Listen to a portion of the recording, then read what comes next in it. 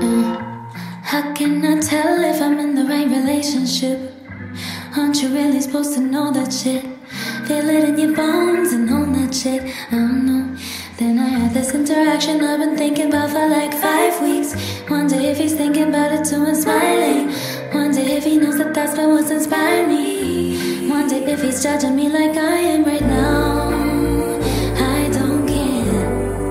I'd rather tell the truth, truth